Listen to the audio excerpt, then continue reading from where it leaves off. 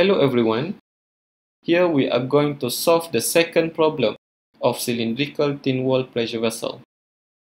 The question is, a cylindrical pressure vessel that contains ammonia gas with an internal pressure of 80 Pascal has the outer and inner diameters of 1.5 meters and 1.45 meters respectively.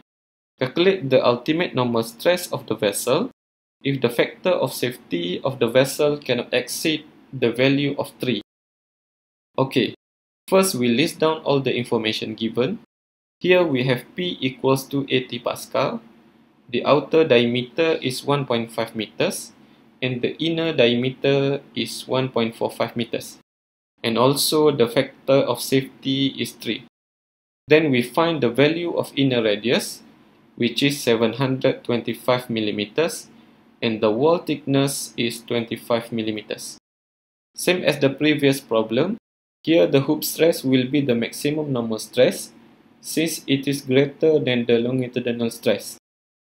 So sigma max equal to PR over T and we get the maximum normal stress is 2.32 kilopascal.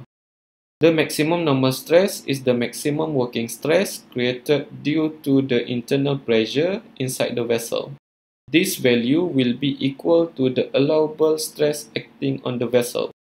So, to calculate the ultimate normal stress, we have to use the equation of safety factor equals to sigma ultimate over sigma allowable.